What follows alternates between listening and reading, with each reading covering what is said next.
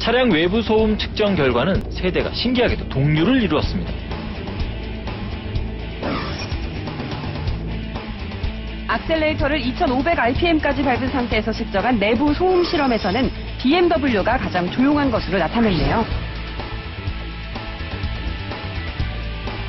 적재량 테스트에서는 3, 4 모두 골프클럽을 포함해 골프백 2개와 보스턴백 1개를 실을 수 있었습니다.